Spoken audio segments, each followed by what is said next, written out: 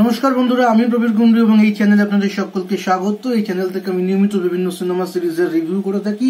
আজকে নেটফ্লিক্সের একটি পুরনো সিনেমা রয়েছে, তার রিভিউ করব এবং তার নাম হচ্ছে বার্ড বক্স সুজন বিয়ার এর ডিরেকশন দিয়েছেন এবং মুখ্য ভূমিকায় রয়েছেন সান্ড্রা বালক সিনেমার গল্পটা অনেকটা এরকম যে পৃথিবী প্রায় ধ্বংসের দিকে ধ্বংস হয়ে গিয়েছে। কারণ এমন একটা অজানা মনস্টার বাইরে ঘুরে বেড়াচ্ছে, যার দিকে যদি আপনি একবার তাকিয়ে ফেলেন, তাকে যদি আপনি একবার দেখে ফেলেন, তাহলে আপনি নিজেকে নিজে শেষ করে দেবেন। শুধু তাই নয়, তাকে যদি কেউ দেখেছে এবং দেখার পর সে নিজে আত্মহত্যা করছে, তাকেও যদি আপনি দেখে ফেলেন অনেকটা, তার চোখের দিকে যদি আপনি তাকিয়ে ফেলেন, তাহলেও আপনি নিজেকে শেষ করে ফেলবেন।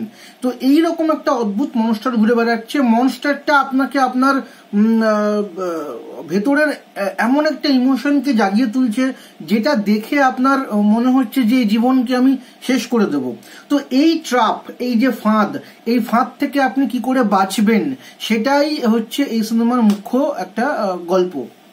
দেখা যাচ্ছে যে হঠাৎ করেই এরকম একটা প্যান্ডেমিক চলে আসে। কীভাবে আসে, কেন আসে, এটা সেরকম ভাবে দেখানো হয়নি। আসার পর কি হয়েছে, সেটাই হচ্ছে মুখ্য গল্প। ছ সাতজন মানুষ একটা ঘরে বন্দি অবস্থায় থাকে।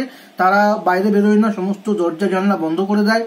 তারপর তারা কি করে সার্ভাইভ করে সে ঘরটাতে এবং কি করে তাদের এক একজন করে মরতে থাকে এবং আলটিমেটলি কোনো একজন বেঁচে যায়, শুধু বেঁচে যায় না, সে আরও প্রায় পাঁচ ছ বছর সার্ভাইভ করে তার বাচ্চাদেরকে নিয়ে এবং সেই বাচ্চাদেরকে কি করে সে একটা একটা একটা সেফ প্লেসে নিয়ে যায়, সেটাই হচ্ছে এই গল্প। কিছু কিছু রুদ্ধশ্বাস মুহূর্ত আছে, আপনাকে প্রায় দমবন্ধ করা অবস্থায় আপনাকে নিয়ে যাবে একটা এমন এমন কিছু সিকোয়েন্স রয়েছে। দারুণ লাগবে দেখতে প্রেজেন্টেশন খুব ভালো। এবং এই পুরো গল্পের মধ্যে একটা কোথাও গিয়ে একরকমের লোক আছে, যারা চায় যে পৃথিবীর সমস্ত মানুষ এই ঘরের মধ্যে বন্দি না থেকে এই মনস্টারকে দেখুক। তারা, তাদের এটা এফেক্ট করে না। কিন্তু তারা খুব অল্প হাতে গোনা লোক এবং তারা চায় সাধারণ মানুষ যারা, যাদের এফেক্ট করছে, যারা দেখলেই মরে যাচ্ছে, তাদেরকে চোখ খুলে দিতে এবং তারা দেখুক এবং দেখে মরে যাক। এরকম কিছু ভিলেনও এই সিনেমাতে রয়েছে। ফলে একটা অদ্ভুত শুধু মনস্টার নয়, সাথে এক ধরনের যে ভিলেন সেই তাদের গ্রুপের সঙ্গে লড়াই করতে হচ্ছে। তো বেশ ভালো সিনেমা, খুব একটা রোমাঞ্চকর সিনেমা। সকলের দেখা উচিত। দু হাজার আঠারো সালের ডিসেম্বরে এটা ইনিশিয়াল রিলিজ পেয়েছিল এবং একটা কন্ট্রোভার্সিও হয়েছিল। কন্ট্রোভার্সিটা এরকম হয়েছিল যে কিছু রিয়েল ফুটেজ এখানে ইউজ করা হয়েছিল।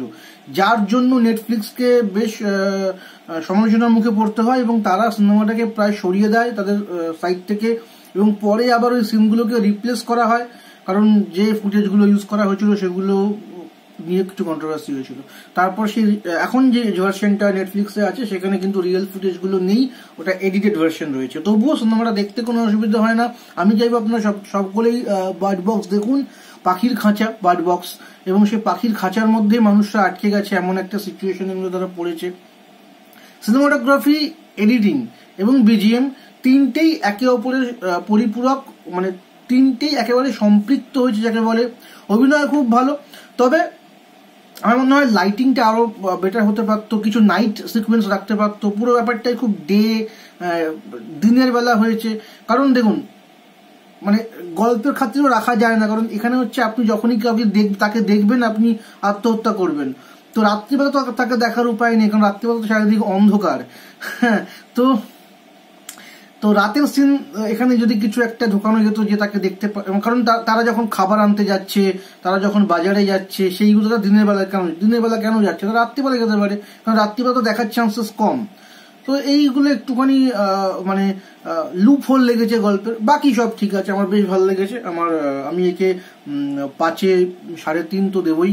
দারুণ লেগেছে, দারুণ একটা সিনেমা প্রত্যেকের অভিনয় খুব ভালো। আমি রিকোয়েস্ট করব আপনারা সকলে এই সিনেমাটা দেখুন, দেখে জানান কেমন লাগল কমেন্ট করুন আমাকে। এই বলে আজকে ভিডিও এখানে শেষ করছি। যদি আপনাদের চ্যানেলটা ভালো লাগে, তাহলে সাবস্ক্রাইব করুন এবং আরও রিভিউ টিভিউ শুনতে হলে সাবস্ক্রাইব করে রাখুন এবং লাইক বাটন যদি ভালো লাগে লাইক বাটনে ক্লিক করুন। এই বলে আজকের ভিডিও এখানে শেষ করছি। ধন্যবাদ।